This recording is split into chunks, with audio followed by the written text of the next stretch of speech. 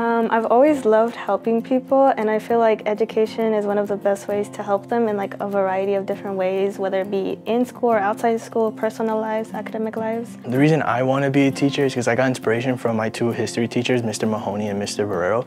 They really inspired me during a time where I wasn't the best student particularly. I just felt like they really wanted to see me succeed, not just in their class, but as a person as well. They just really inspired me to become a teacher, and I hope to inspire maybe other students to become teachers as well. I want to be a teacher because ever since I was little, like that's always been a thing that I had in mind. I want to teach music especially because I think it's a really great connector and it's something that students can carry along with them all throughout their life.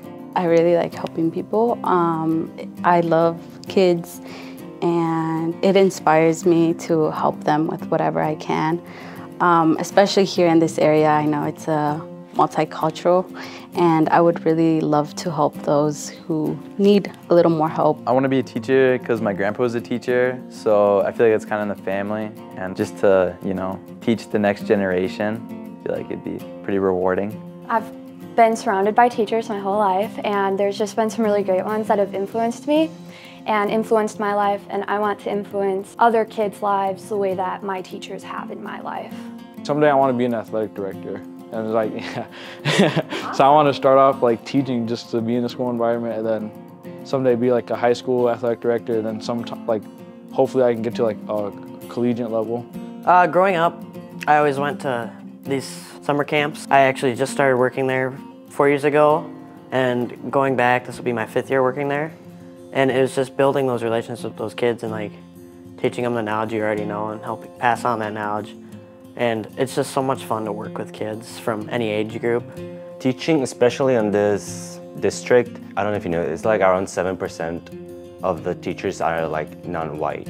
And that like really, really inspired me, especially for, I'm, I'm doing ESL. I don't know, I feel like I can really understand what they're going through and yeah, that's what really inspired me to go. Like, uh, Mr. Mahoney inspired me. He started the inspiration, and then Mr. Um, Nunez, he really uh, inspired me a lot too, because you know he just brings that energy. He's just fun to be around, and I kind of want to be that teacher. A lot of people, but I think um, one of the most that stands out is Mr. Mahoney. Um, I love his passion for teaching and his passion for the kids. Um, I'd have to say Eric Parrish from Minnesota West and also Miss Johnson. Mr. Mahoney, Ms. Benz, Ms. Bonstetter. I really like the way that they care about their students, but like in a fun way. Heather Knigge is my art teacher, and I have to say she is by far one of my favorite teachers. She's just inclusive and very kind and compassionate towards others and a lot of fun to be in a classroom with. So like Gino, uh, Mr. Sarbride, uh, Mr. Mahoney too, and Miss Napton. There's like a lot of teachers that like I really like. It's just I never had a bad experience with like any teachers here. One of my friends passed away last year. His name was William Merida, one of my best friends. Um, for me, it was always him wanting, he wanted to be a teacher. He would always tell me about, okay, I'm going to school here, I can't wait to be a teacher. And so I was thinking to myself, you know, that's maybe that's something I might enjoy too as well. I would say Mrs. Van Noot. She was like very, very important for me. She was my intermediate ESL teacher. And yeah, she was, she was just the best, really cool. And she's just so nice to me and I just want to be that teacher to someone else, you know, you know, like you always need someone else except from your parents or your parent figure to like, you know, have a shoulder. I am going to the University of Minnesota in Morris. I'm deciding to go to SMSU. We'll go to UND. Minnesota West or SMSU. I'm going to South Dakota State University.